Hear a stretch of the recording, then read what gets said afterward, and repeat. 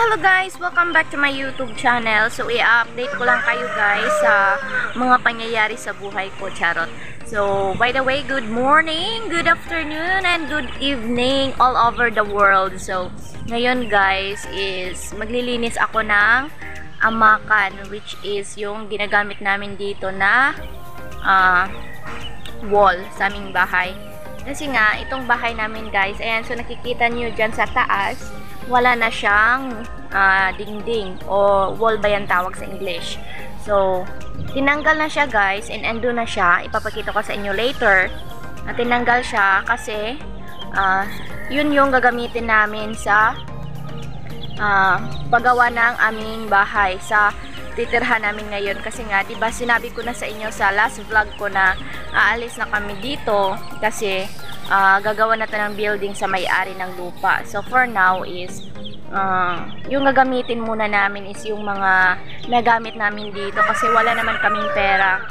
And ah, sobrang mahal na mga bilihin ngayon guys and wala kaming ipon and yung decision nila is parang ah, ma- nagmamadali sila guys kasi nga ah, may gagawin na silang project dito so ito na lang mga dingding namin dito guys ang tatanggalin tapos ililipat sa aming ah, bagong titirhan.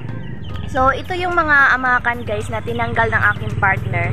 Tapos lilinisin ko to later. Ayan papakita ko sa inyo guys. Lilinisin ko siya para ah, gamitin namin sa bagong titirhan naming kubo. So bagong titirhan pero luma yung mga ah, ginagamit namin kasi nga hindi lahat ng ginagamit namin doon sa pagtayo ng kubo is bagong bili. Yung iba is ah, mga ah, luma na dito guys. So, ito siya guys. Papakita ko sa inyo ha. Ayan. Ayan. Nandyan na siya guys. Yan yung lilinisin ko mamaya para may magamit kami. And ito yung bahay namin. Sa mga wala pang nakaalam sa pang ah, sa mga pangyayari, charot. So, yan yung tinitirhan namin ngayon, temporarily. Si, sira yung sa itaas, guys, kasi nga up and down siya. So, yung sa ilalim, ginagamit pa namin. Tapos, yung sa itaas is hindi na siya pwedeng tulugan kasi walang dingding. Tapos, ah, kapag umuulan, nababasa kami. So, good morning, Rainwell. How are you? Are you okay? Oh, kiss mama. Mm, so, this is my baby, guys. Nag-iisang baby ko.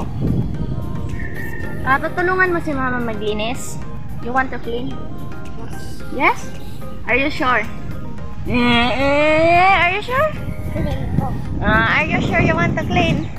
Huh? Are you sure? Oh. Are you sure? so, gustong tumulong ni Rainwell, guys. So, ayan, bagong ligo kami ngayon ni Rainwell. Wala, ka, wala pa kaming breakfast. Umiinom lang kami ng gata. So, later, maglilinis ako dito, guys. And, i-update ko sa inyo ang pag paglilinis ko para naman ma-update kayo.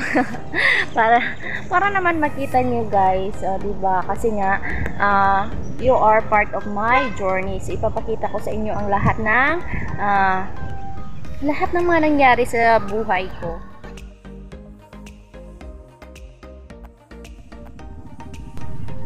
So magluto muna tayo guys ng tinulang isda. Lagyan natin ng gulay. So pupunta muna tayo sa aming maliit na gulayan. Ayan nakikita nyo may kamuti kami dyan. Tapos eggplant. So itong malilit na eggplant ay kukunin natin para ilagay sa ating tinulang isda.